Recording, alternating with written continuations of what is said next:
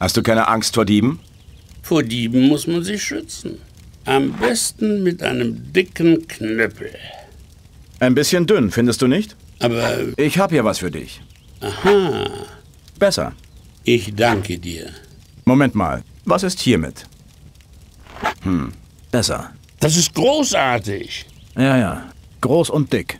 Ich danke dir jedenfalls. Klar, ich helfe gern.